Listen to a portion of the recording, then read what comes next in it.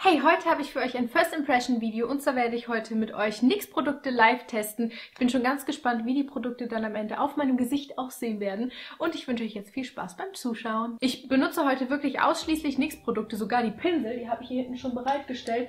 Die sind auch von NYX und auch die Produkte, die ich schon von denen kenne, zum Beispiel mein Augenbrauenprodukt, das ist von NYX, das verwende ich immer. Das werde ich heute auch auftragen und euch dann nochmal sagen, wie ich das Ganze finde. Und ähm, genau, ich würde sagen, ich starte einmal damit, mir die Foundation aufzutragen. Bei NYX die richtige Foundation-Farbe zu finden, finde ich ziemlich schwer. Ich stand da wirklich mit einer Verkäuferin längere Zeit und wir haben einfach nicht den richtigen Ton für mich gefunden.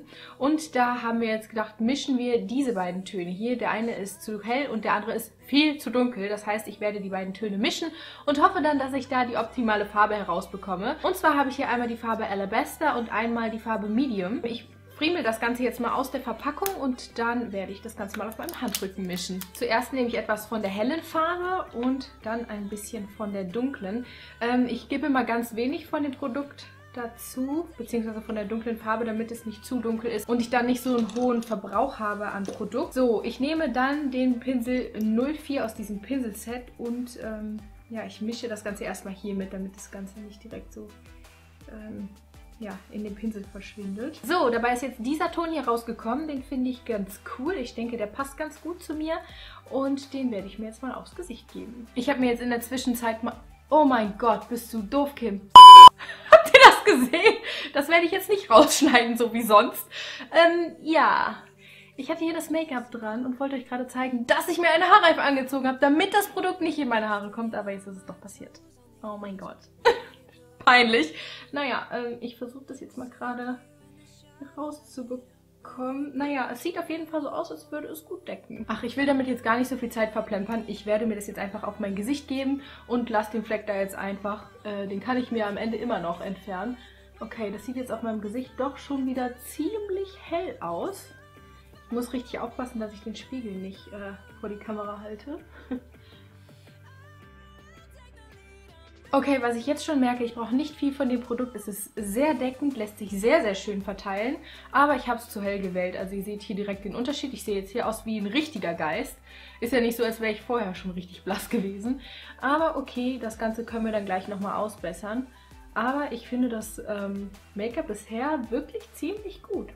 Mein erster Eindruck ist auf jeden Fall, es ist echt recht deckend. Ähm, klar sieht man hier noch äh, Muttermale und ein paar Sommersprossen durch, aber ähm, ich habe jetzt auch sehr, sehr wenig von dem Produkt genommen und ähm, ihr seht ja auch, wie weiß ich bin. Das heißt, man sieht auf jeden Fall einen Unterschied und was mir sehr gut gefällt, ich glänze jetzt nicht so extrem. Und hier steht auch jetzt extra Stay Matte but not flat. Ähm, und das kann ich hier auch definitiv schon mal bestätigen. Ich habe ja Microblading machen lassen, das heißt, ich habe ja schon Augenbrauen vorhanden, aber ähm, die sind mir einfach noch nicht dunkel genug und durch das Make-up wieder ein bisschen abgedeckt. Und ich verwende momentan, also schon seit einem Jahr ungefähr, immer dieses Produkt. Das ist die äh, Tame Frame Pomade in der Farbe Brünette, also 03. So sieht es aus, das ist ein ziemlich aschiger Ton. Mir persönlich gefällt der sehr gut. Und dazu benutze ich jetzt diesen Pinsel, den habe ich noch nie verwendet. Und zwar ist das die Nummer 18. Der Pinsel hat hier hinten auch extra nochmal so ein Bürstchen, womit man die Augenbrauen durchkämmen kann. Und das finde ich auch nochmal mega cool. Und ähm, genau, dann werde ich das Ganze jetzt mal nachzeichnen. Aber ich sehe schon, krass.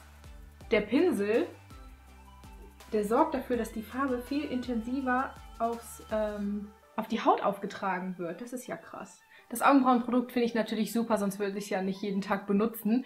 Und deswegen ähm, kann ich euch da auf jeden Fall eine Kaufempfehlung äh, rausgeben. Also falls ihr noch was Richtiges für eure Augenbrauen sucht, dann kann ich euch das sehr ans Herz legen, mag ich wirklich gerne.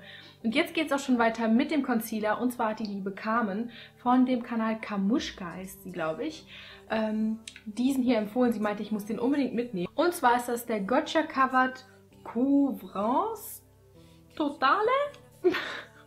Mir fällt es ein bisschen schwer, das äh, auszusprechen.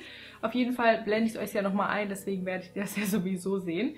Ähm, genau, das ist jetzt auch der hellste Ton. Ich öffne das Ganze mal gerade. So sieht das Ganze dann aus und ich gebe mir hiervon wieder etwas auf meinen Handrücken und verteile das Ganze dann anschließend mit dieser Bürste. Ich bin mir gar nicht sicher, ob die hier überhaupt für Concealer ist, aber die sieht für mich so aus, als könnte die funktionieren. Und zwar ist das die Nummer 09. Ähm, falls er nicht für Concealer ist, dann sagt mir das gerne, dann weiß ich da auch Bescheid. Hauptsache es funktioniert und ähm, genau, dann bin ich schon glücklich.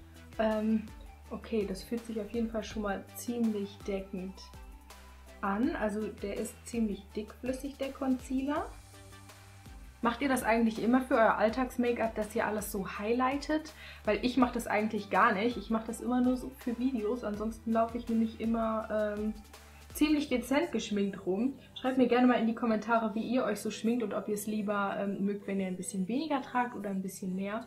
Dann können wir uns da mal so ein bisschen austauschen. Vielleicht habt ihr ja auch noch den einen oder anderen Trick für mich, den ich noch gar nicht kenne.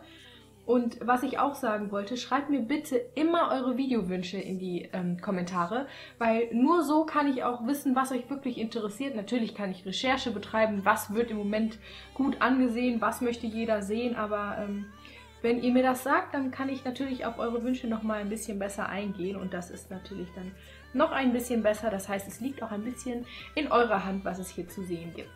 Okay, also der Concealer haut mich gerade wirklich vom Hocker. Ähm, ich sehe gerade aus dem Geist, ich weiß, aber schaut mal bitte, wie deckend dieser Concealer ist. Das ist ja wohl unglaublich, oder? Also bisher hatte ich nur den Pro Longwear Concealer, der wirklich deckend war, aber ich finde der hier, der toppt den sogar. Und der ist, soweit ich weiß, auch nochmal günstiger. Krass, also wenn der jetzt auch gut hält so im Alltag, dann ja, bekommt MAC auf jeden Fall eine sehr, sehr große Konkurrenz.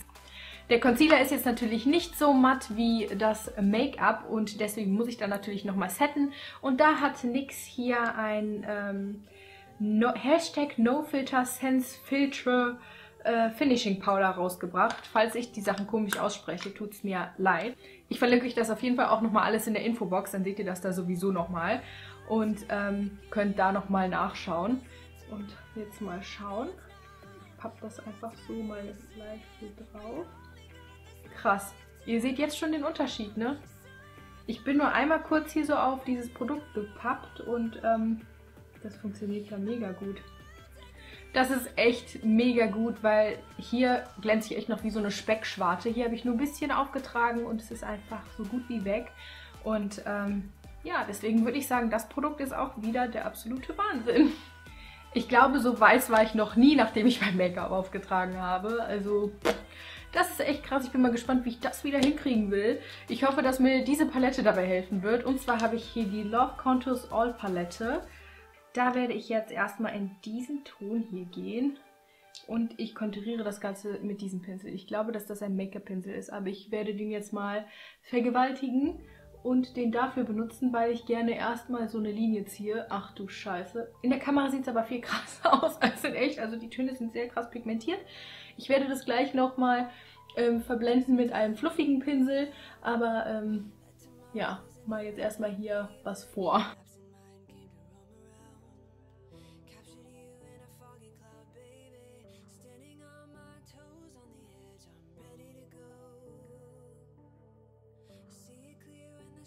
So, also das Konturieren hat jetzt schon mal funktioniert. Die Farben aus der Palette sind super gut pigmentiert, also auch dafür wieder ein Daumen hoch. Hier gibt es wirklich noch nichts, was ansatzweise durchgefallen wäre, meiner Meinung nach. Da in der Palette aber leider kein richtiger Blush drin ist, öffne ich jetzt gerade dieses Paket hier. Und zwar ist das der Ombre Blush in der Farbe Morph Me. So sieht die Verpackung aus, mega süß, so wie die NYX-Sachen halt. Und das hier ist er. Mega cool, passt doch irgendwie zu meinen Haaren. Jetzt geht es aber weiter mit der Contours All Palette und zwar werde ich mir damit jetzt nochmal meine Augen schminken. Und zwar verwende ich da jetzt erstmal diesen Ton hier und gebe mir den in meinen Augeninnenwinkel und auf mein gesamtes bewegliches Augenlid.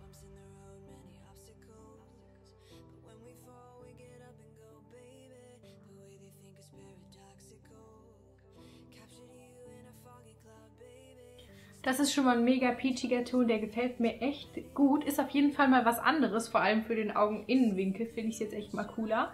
Und jetzt nehme ich diesen anderen Ton und gebe mir den erstmal in die Lidfalte und verblende den nachher etwas nach oben hin zur Augenbraue.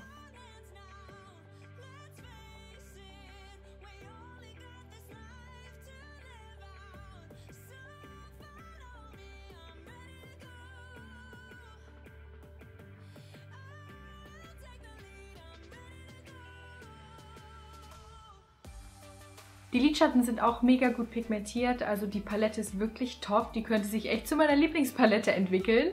Und ähm, genau, eine Wimperntusche habe ich mir da jetzt nicht ausgesucht, aber dafür habe ich mir Wimpern ausgesucht. Die sind jetzt ziemlich crazy, diese hier.